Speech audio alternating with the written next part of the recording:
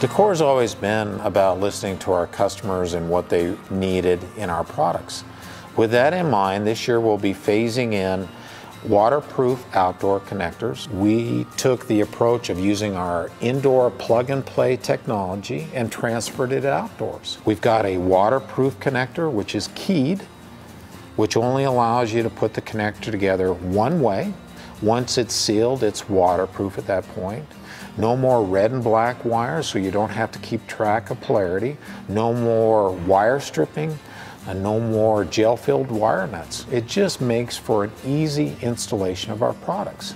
As we said before, if you can charge your cell phone, now you can install our products.